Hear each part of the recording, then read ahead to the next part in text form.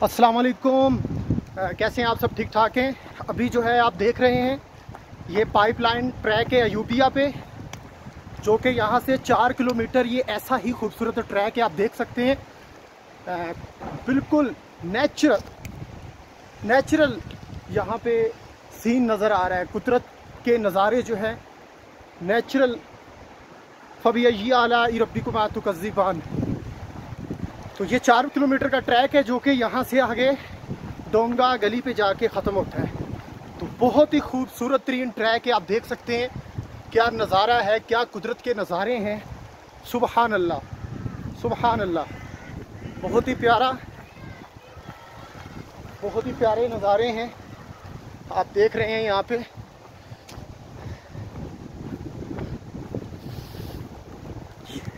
کتنا خوبصورت ہمارا پاکستان ہے۔ ہمارا ملک کسی نعمت سے کم نہیں۔ اللہ تعالیٰ اسی طرح ہی ہمارے ملک کو قیامت تک شاد و آباد، سلامت رکھے۔ اور ہلکی ہلی سی بوندا باندی ہو رہی ہے۔ اور کیا دلکش نظارہ ہے۔ یہ لمبے لمبے درخت بالکل سیدھے نائنٹی ڈگری کے اینگل پہ بالکل سیدھے اوپر آسمان کی طرف جاتے ہوئے۔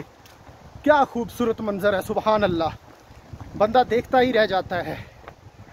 تو ابھی یہ نیچے ایک اور آپ کو ٹریک نظر آ رہا ہے۔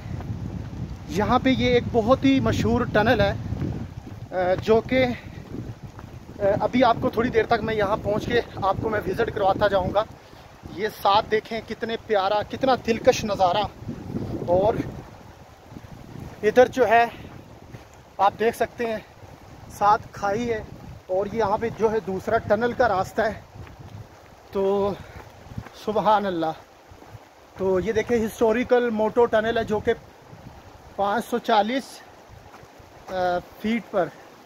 یہ دیکھیں انہوں نے بتایا ہوا ہے۔ اور یہاں سے جو ہے یہ پائپ لائن کا جو ٹریک ہے، یہ شروع ہو جاتا ہے۔ ہم ٹریک پہ بعد میں آئیں گے۔ پہلے ہم جا کے ٹنل دیکھ لیتے ہیں۔ اور قدرت کے نظارے، سبحان اللہ سبحان اللہ و بحمدہ سبحان اللہ العظیم سبحان اللہ و بحمدہ سبحان اللہ العظیم سبحان اللہ و بحمدہ سبحان اللہ العظیم سبحان اللہ و بحمدہ۔ چھوٹے بچے سارے انجوائے کر رہے ہیں اور یہ خوبصورت مناظر جو ہے اپنی آنکھوں سے دیکھتے ہوئے اور آن آنکھوں کو ٹھنڈک بخشتے ہوئے یہ خوبصورت نظارے۔ سبحان اللہ۔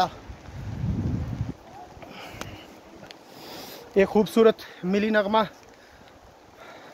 وطن عزیز کے لیے کچھ دیر تک آپ لوگوں کی سماعتوں کی نظر کروں گا، لیکن ابھی چند ہی فاصلے پہ جو ہے ٹنل آ رہی ہے۔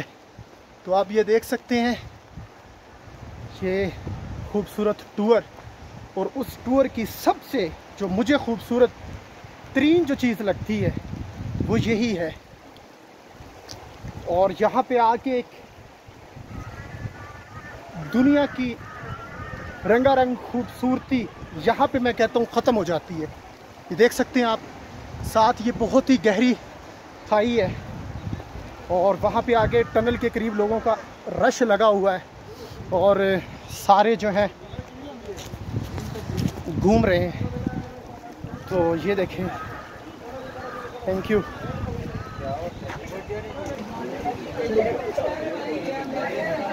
یہ دیکھیں جی خوبصورت مقام اور یہ دیکھیں سارے بھائی حضرات یہاں پہ۔ سر کیسا لگ رہا ہے یہاں پہ آپ کو؟ جی الحمدللہ سر بہترین ماشاءاللہ جو ایک خانہ اسکول کا ایک موسم جو بن گیا ہے نا جی جی۔ اس وقت جو ٹمپریچر ہے لاہور میں وہ فورٹی فور ہے۔